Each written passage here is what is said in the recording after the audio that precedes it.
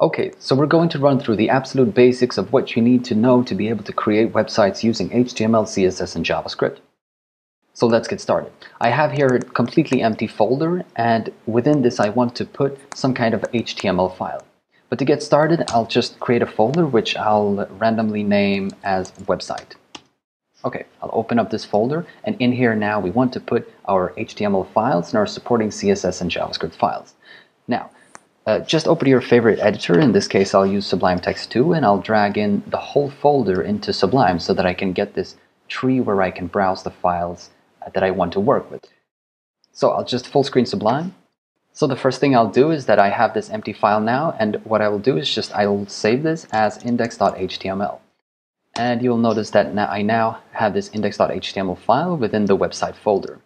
So the thing with an HTML file is that it's just another text file. It's just another file with the extension .html. So if you have a file which has the extension doc or docx, that's a file that Word understands. So it's a convoluted text file that only Word can open. Now, an HTML file is a file that contains HTML that any text editor can open because it's just text. But if you give a browser an HTML file, then it will render it, render it as a web page. So let's get started in actually creating the file. The first thing we need to do is to supply a doc type. Now in explaining doc types, we could make this quite convoluted, but I'll just sort of glance over this and saying that this is due to the history of, for example, the browser wars, where HTML has been around for quite some time and browsers have uh, decided to implement different features of HTML, allow different types of things being done in HTML.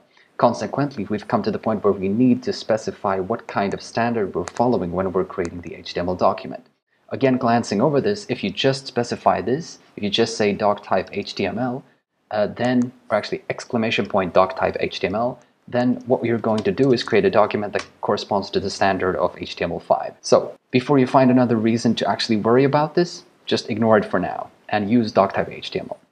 So the first thing we'll do is that we'll just specify that this is a HTML document by creating the uh, element HTML. So in HTML, we work with what is called elements. So this is an element and this is a tag. So this is the opening tag HTML and this is the closing tag HTML. Together they form the element of HTML. This is the root node of the tree in an HTML document. Now, what do I mean when I say tree? Well, HTML documents are trees. So we could say something like the root node of the document is HTML. Under, under the root node of HTML, or like the root of the tree, we could put a branch which is called head. And again, under the root node of HTML, we could put another branch which would be body.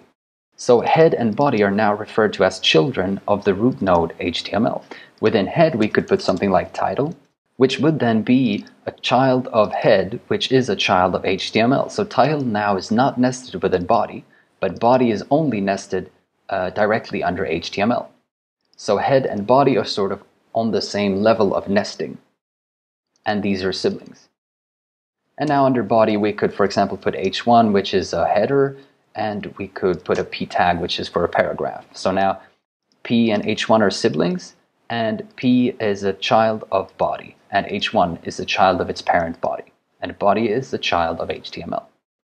So this is how we build HTML documents, but this was just pseudocode. What we actually write is something like this. So this is the same thing again. I have HTML, and within the element HTML, I put the head element. As a sibling to the head element, I put the body uh, element. So now we have two nodes. We have the root node, and then we have the head node, and we have the body node. And within this, I can put different stuff. So let me just put title here, uh, my super fine website, and close up title. So you can see now that I'm doing this in two ways. Uh, on line 3, I'm opening head and closing it on line 5. However, on line 4 here, I'm opening title and writing the contents of the title on the same line and then closing on the same line. Now these are both valid. Stop and think about this for a minute and consider why this is not valid. Note how I'm using indentation to uh, show what is nested within what. Here we're opening head, here we're closing head. Here we're opening title, and here we're closing title. This is very hard to indent because it's incorrectly formatted. Because we're opening something, we're opening a child, which is title within head, but we're closing it outside of, of head, which doesn't make any sense. So I need to close title in here. Again, this could be written like so. Doesn't really matter. But for the sake of brevity, I'll just put it like this. So what we have now is the absolute minimum that you would need to create, a, create an HTML document.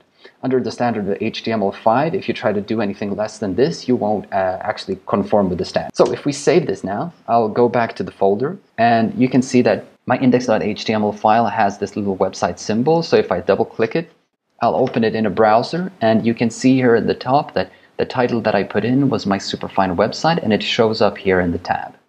However, apart from this title, you can see that we have nothing but an empty page. So let's now actually put something uh, into some content into this page. So we talked about the h1 element before, or the h1 tag. So let's put uh, something like, uh, this is my awesome title. Too much is awesome today. So um, let's actually put this in as well. Uh, there's the p element, or the, the paragraph tag. Uh, this is a paragraph containing Okay, so having a look at this, so what you can see now is that we get this title, which by default has a larger font than this paragraph. So we now have two tags. We have the, the h1 tag and we have the paragraph tag. Let's just quickly look at what happens if we input another paragraph.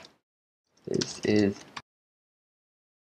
so we have two p tags. We'll look at this again, and you can see that the first paragraph is on one line and the second paragraph is on another line. So you can think of this as something uh, like a paragraph in uh, your regular text editor, whether you're using Word or OpenOffice or Pages. So whenever you hit enter, this is like creating another paragraph tag. A lot of people are taught to do something like this. This is another paragraph of text, and this is another line of text. Let's have a look at this.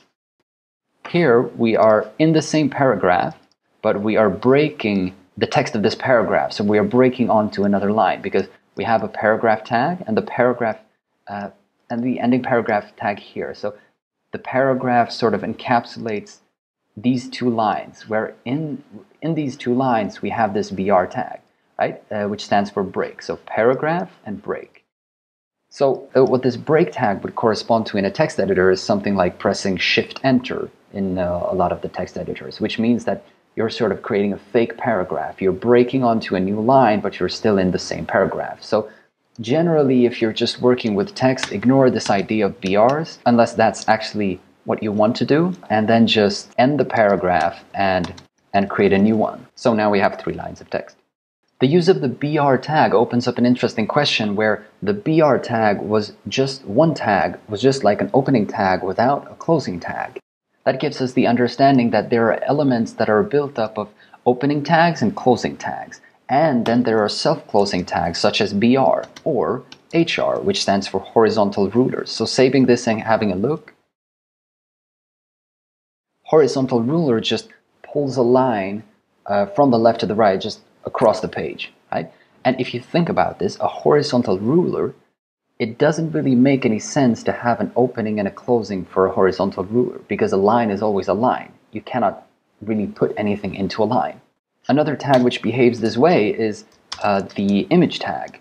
So I'll just grab a, uh, an image from the awesome service which is called PlaceKitten. So if I do this, I, I, I input the tag img and then give it the source of this URL then we get this awesome cat image, right? And if you think about this again, it doesn't really make any sense to do something like this, to close the image, because what would I put here? Right? The image is the image. What, what would I put here? So putting something inside an image is not a concern of HTML, it's a concern of like an image editing program. So image is also one of these tags that are self-closing. This, however, also brings up an interesting question. What's up with this src equals ba ba ba ba ba? This is the idea of attributes. All of this is an attribute for the img tag. So what we're saying is that if we, if we delete this for a moment and think about it, we have an img tag, right?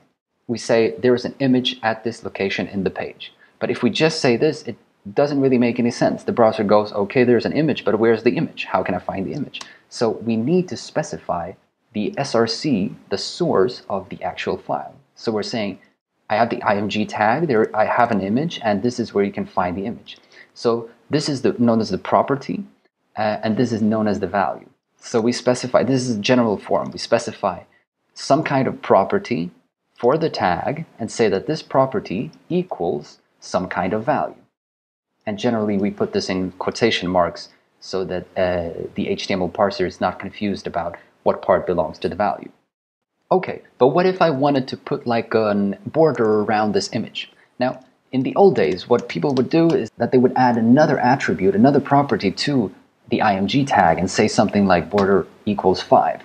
We can try this out, and we can see that we actually get a border. However, we've sort of come to the point now where we realize that adding a border is actually a visual concern. And this brings us into the point where we need to discuss what is the concern of HTML and what is the concern of CSS.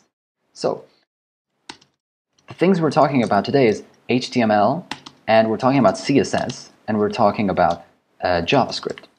So HTML is the markup language, right? HTML defines the tree of the document. What are the contents of this document? HTML can be seen as sort of the entry point of this website. CSS is the style of the website, meaning what does it look like? What colors are there? Where are things positioned, etc., etc. And JavaScript can be seen as the interactivity to some extent. I mean, you can achieve some interactivity just using HTML, but the things that people do with JavaScript today are just absolutely crazy. So you can see JavaScript as the as any more kind of complex interactivity that you do with the website without having to reload the page. So how are these then connected? Well, again, uh, the HTML can be seen as sort of the entry point of the website. So what happens is that you load the browser loads the HTML file, and the HTML file will point to a CSS file and point to a JavaScript file, and then pull the contents of these files in and load them into the browser so that we can execute whatever styles are in whatever styles are in the CSS file and whatever code is in the JavaScript file. So let's look at how we do this more concretely. Uh, I'll just go into head and add the link tag. And I'll just say link rel style sheet href for like hyperreference. And then I'll just assume I have a folder which is called style sheets.